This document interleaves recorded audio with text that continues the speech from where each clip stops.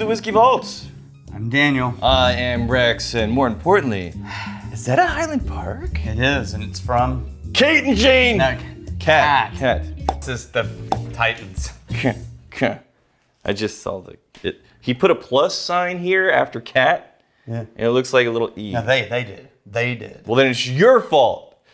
Kat and Jane. Daniel Wait, in the don't hear distance, do you hear that? I hear it. This is gonna pretty sped, pretty, pretty sped up at this point, I imagine.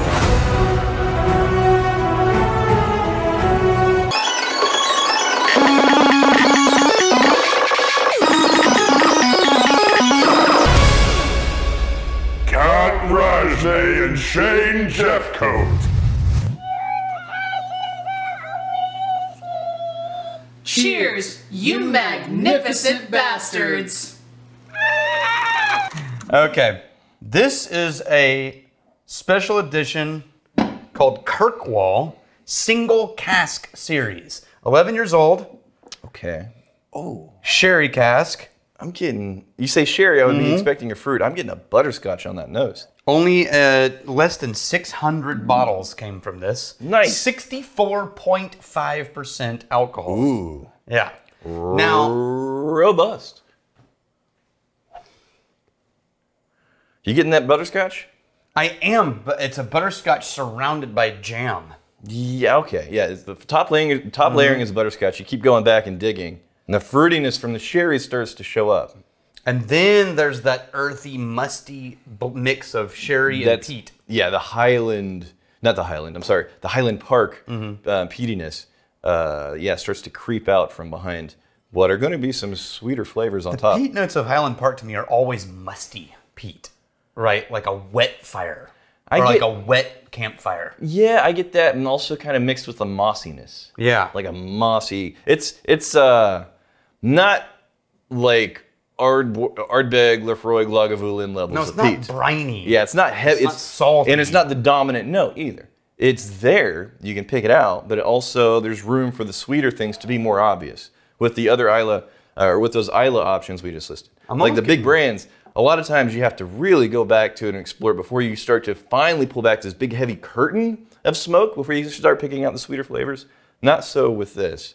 You can still get the peat, but you also get a lot of the other um, sweeter things that are very present and easily found. I'm almost getting like a lemon scones with jam. And then that pizza. Oh, that's a little scony. I got the scones. Oh, there is the. Oh, it's really well balanced. For that proof? Yeah. Wow.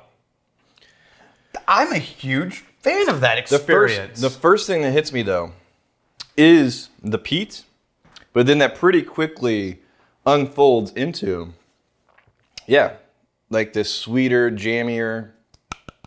Mmm. Mm, that's good. Almost like a roasted pear. It's like a roasted pear on the end. You never had like a pear cooked on like a campfire? It's like a little charred on the edges. I have not ever had a pear other than off of a tree one time, didn't like it, and never went back. There's a lot of different pears, man. No. You maybe you are 12. I don't like it. It's gross. That's, I don't want pears, they taste weird. They're kind of grainy. that's cooties. All right, I'm just going to compare it just generically to the Highland Park 12. Sure. Specifically their Gonna be a Viking Honor one. Much lower proof on that, obviously. Yeah. Yeah, what is that going to be? Well, probably 40. Let's see. Or 46. 43. Hmm, Neither. Yeah, just the nose. I mean, Just as a directionality. there's just so much big chungus of flavor on that. What? It's not gross. Does it sound gross? It does. What do you think big chungus is? I don't even want to know. It sounds like weenus. In that category of like, sounds terrible, but it's actually harmless. Everybody has a weenus. yeah, it's right there. yeah, no, that's just a, so. kid- like a kid's book. Everybody has Yeah, a weenus. weenus. Everybody has the weenus. Two weenuses. It's so watered down. Yeah. it's two weenuses. That's true. Freak show. That's science. You circus act. yeah. I've The got, man with two weenuses. I've got, a, I've got a third weenus. I won't even show and you. everybody's like, "Oh my god, what? That sounds, wow, Man sounds with the weenuses. messed up, And man." then he You walks guys- to the tent. He's like, there they are. You've all got them. Like, oh man, For the after hours show, it just Yeah. gets really I want, nasty my, with. I want my money back. You're welcome, Highland Park. This is for all those. This is for all those dolphin and eagle and bear releases. Sons of weenuses. Oh man, this is so good. Yeah, I'm. I'm Damn. I think it's right now. It's an unfair AB It because is. this is such a big, heavy proof.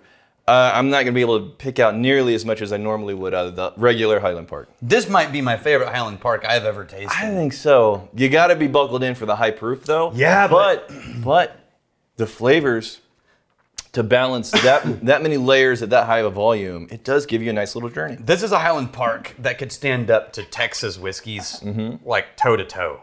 You know what I mean? Like neck and neck. Wait, was that the 12? No, this is.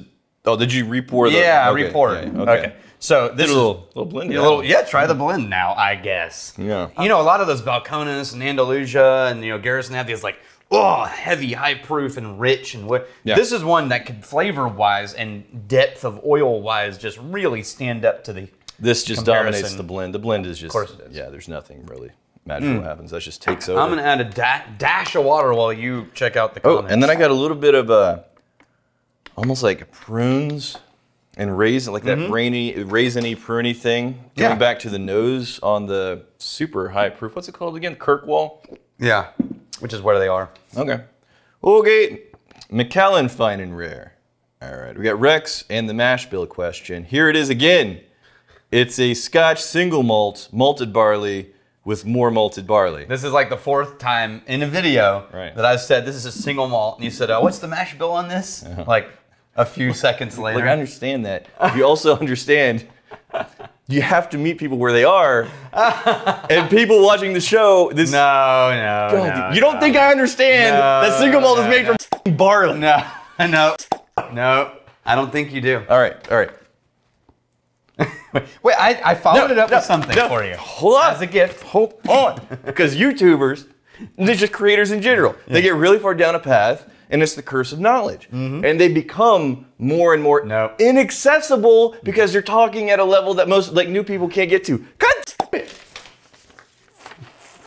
I think it's far more likely you're just not listening to like what we're drinking. Like you're literally in another world and just sipping on whiskey and nodding. No, like I, I concede that could very often happen. Yeah. But I know for a fact I understand what you said, but I'm asking the questions that I know the answer to for the benefit of people who don't know the answer. I love how worked up you're getting right now. It's my favorite thing.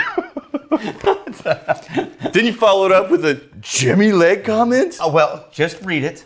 Just read it. All of the weenuses. weenuses, as far as the eye can see. Rex, my friend, that is a beautiful descriptor. I'm already suspicious. Well, don't be. Just read. A forest fire 100 miles away that's been carried by the wind. It's just fantastic. Mm-hmm. I know I give you a minor amount of crap, but that's really good. But you gaslighting me? No. He was legitimately loving that nose comparison. So I'm in a very awkward, awkward moment, Daniel. Here's what's happening. Mm-hmm. Because I have presented Jimmy Leg publicly mm-hmm. with the name of Jimmy Third Leg Yeah. because he's such a dick. but if I take away the third leg, I think that's a moniker that some would aspire to achieve. Hmm. The Jimmy Third Leg. Should I retract the third leg? or leave it or leave it to him. Can you even do that? Well, it takes a strategic, precise positioning of the weenus Oh, fair enough. to attract, to retract the third leg.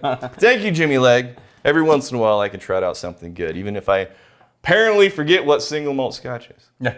With a little dash of water, Yeah. this doubles down on the sweetness and doubles down on the pepper at the exact same time. It's really weird. Did you do mine? Well, yours is a blend, so we No, need to start no, this you. one isn't. Oh, that's right. No, you do No, need no, to start me another. You do need to start me another. No, no, no.